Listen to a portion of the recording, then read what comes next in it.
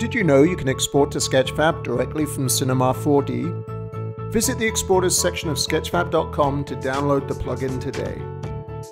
Download the zip file, locate it on your computer, and unzip it. Then, go ahead and add the extracted folder to the Plugins directory.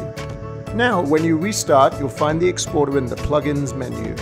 When you're ready to upload your work, open the plugin, enter a title, description, and tags, or edit them later at sketchfab.com. Then visit Sketchfab to retrieve your unique API token and paste it into the exporter field.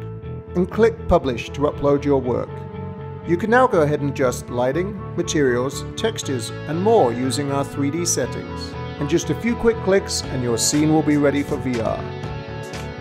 Export your work to Sketchfab directly from Cinema 4D and share it with the world.